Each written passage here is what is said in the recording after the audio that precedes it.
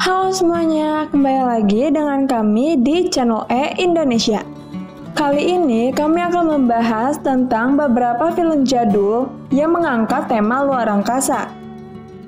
Film-film yang bertema luar angkasa masih menjadi salah satu tema yang sangat digandrungi oleh para pecinta film.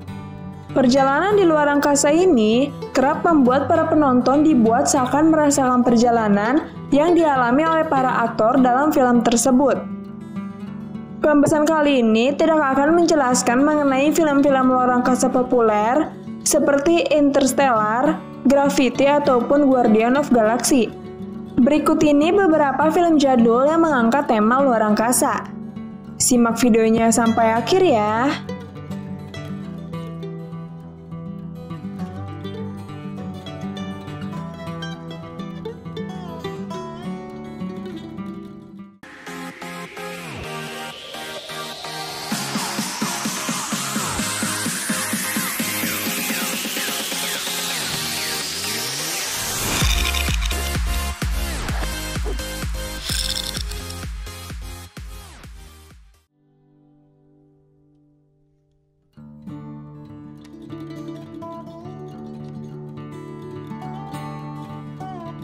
1. Planet of the Apes Film yang digarap oleh sutradara Franklin J. Schaffner ini merupakan film pertama dari franchise Planet of the Apes.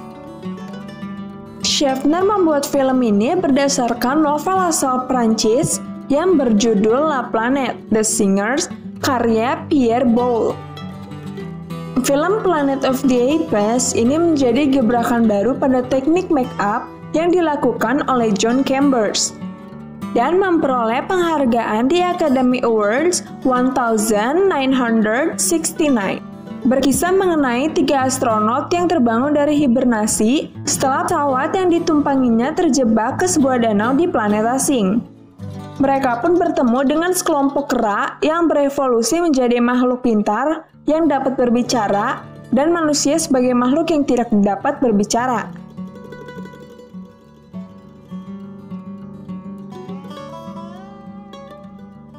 2. Solaris Solaris merupakan salah satu film fenomenal yang digarap oleh sutradara Rusia Andrei Tarkovsky karena background Tarkovsky adalah seorang fotografer. Ia mampu membangun sebuah sinematik indah yang bisa dibilang menjadi acuan dalam film-film masa kini. Hipnotis, tenang, dan depresi Tiga kata itu merupakan ciri khas Tarkovsky yang dituangkan dalam film yang dibuatnya. Solaris yang dibuat pada 1972 pun menjadi contoh bagaimana sebuah depresi yang dikemas indah. Solaris bercerita mengenai perjalanan seorang psikolog bernama Chris Kelvin ke sebuah stasiun luar angkasa Rusia. Chris diminta untuk memeriksa sejumlah kosmonot yang mengalami gangguan psikologi dan halusinasi setelah mengorbit ke sebuah planet bernama Solaris. Hal unik pun terjadi pada Chris. Tiba-tiba saja ia bertemu dengan istrinya yang telah meninggal lama.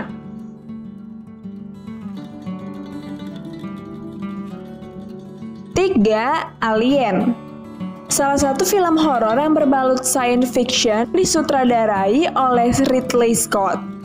Scott sangat berlian mengkombinasikan dua genre film disatukan menjadi sebuah film yang menjadi kiblat science fiction horror.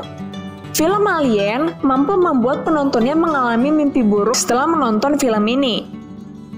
Film ini bercerita mengenai para awak pesawat antariksa Nostromo yang terbangun dalam perjalanan pulang ke bumi setelah mendeteksi adanya pesan transmisi dari bulan terdekat. Mereka pun mencoba mendaratkan pesawat mereka, namun, malapetaka pun terjadi.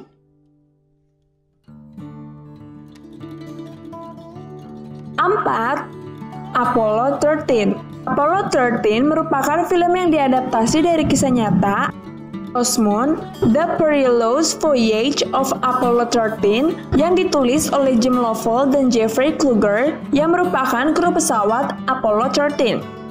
Film ini disutradarai oleh Ron Howard yang menggambarkan kejadian dramatis yang dialami oleh para kru Apollo 13 saat misi ke bulan yang dilakukan oleh NASA. Misi ke bulan ini menjadi malapetaka akibat kerusakan internal besar yang dialami oleh pesawat Apollo 13 yang dapat mengancam nyawa ketiga astronot tersebut. Nah, jadi itulah tentang beberapa film jadul yang mengangkat tema luar angkasa. Terima kasih sudah menonton video ini sampai akhir. Jangan lupa like, komen, share, dan subscribe ya. Sampai jumpa.